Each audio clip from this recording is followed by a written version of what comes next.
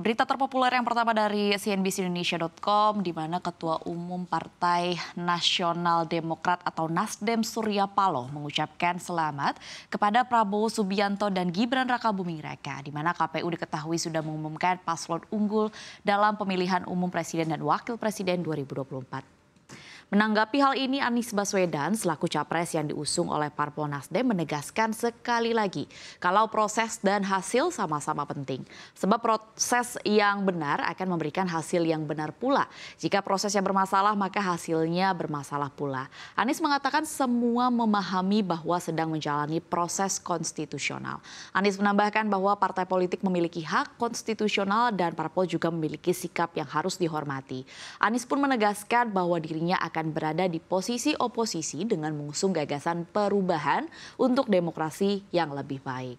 Pada hari ini paslon Anies dan Muhaimin secara resmi mendaftarkan gugatan perkara PHPU Presiden dan Wakil Presiden tahun 2024 ke Mahkamah Konstitusi. Gugatan tersebut telah diterima MK tertanggal 21 Maret 2024 pukul 9 lewat 2 menit waktu Indonesia Barat. Pokok perkara PHPU Presiden dan Wakil Presiden tahun 2024 diajukan dengan nama pemohon Anies dan Muhaimin sendiri.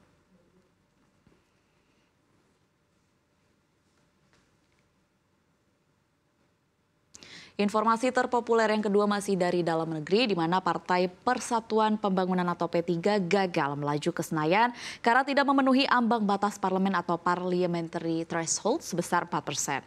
Berdasarkan data Komisi Pemilihan Umum, P3 hanya memperoleh suara 5 juta 800 ribuan atau 3,8 persen pada pemilihan umum 2024.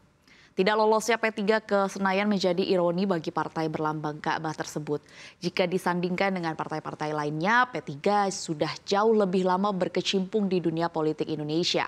P3 merupakan partai yang dibentuk di masa Orde Baru sebagai bagian kebijakan fusi partai. Fusi partai adalah ide Presiden Soeharto untuk merampingkan partai-partai yang punya satu ideologis serupa. Merujuk pada website resmi, P3 merupakan salah satu partai politik di Indonesia di mana P3 didirikan pada tanggal tanggal 5 Januari 1973 yang merupakan hasil fusi atau gabungan dari empat partai berbasis Islam, yakni Partai Nahdlatul Ulama, Partai Muslimin Indonesia, Partai Syarikat Islam Indonesia, dan Partai Islam Perti. Selama Orde Baru P3 bersaing ketat dengan partai lain seperti PDI dan Golkar dalam pemilu. Namun suaranya terus mengalami penurunan hingga era reformasi. Penurunan suara P3 seiring dengan munculnya banyak partai baru dan perubahan dalam ideologi dan tren elektoral di Indonesia.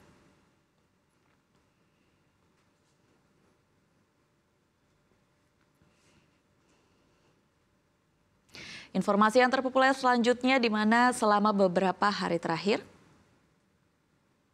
di mana selama beberapa hari terakhir Jakarta dilanda panas ekstrim. Bahkan langit juga terlihat cerah dan tidak ada tanda-tanda akan turun hujan. Dalam akun Instagram resminya, Badan Meteorologi, Klimatologi, dan Geofisika memberikan perakiraan cuaca pada Kamis 21 Maret 2024 hingga 26 Maret 2024 mendatang. Ternyata sejumlah kawasan di Jakarta serta kota-kota sekitarnya masih akan mendapatkan hujan selama beberapa hari ke depan. BMKG menyinggung terkait siklon tropis Nevili, di mana siklon itu berada di Samudra Hindia Selatan, Jawa Tengah. Kecepatan anginnya tercatat maksimum, maksimum 50 knot dan tekanan udara udara 990 HPA. Siklon dilaporkan tengah bergerak ke arah barat untuk menjauhi Indonesia. Kecepatan angin juga berpotensi masih terjadi ke kategori 3 di mana potensi ini membuat tinggi gelombang di sejumlah perairan mulai dari Selat Sunda, Selatan Jawa, Sumba, Bali hingga NTT. Sedangkan untuk siklon tropis, Megan terlihat mereda jadi eksiklon tropis. Fenomena ini berada di Australia bagian utara yang berdampak pada kecepatan angin yang meningkat di Laut Timur hingga arah furu dan gelombang tinggi. Pertumbuhan awan hujan dilaporkan juga aktif karena adanya dinamika pada atmosfer. Selain itu gangguan fenomena Madden Julian Oscillation aktif di Laut Banda, Laut Arafuru, Maluku Selatan, dan juga Papua.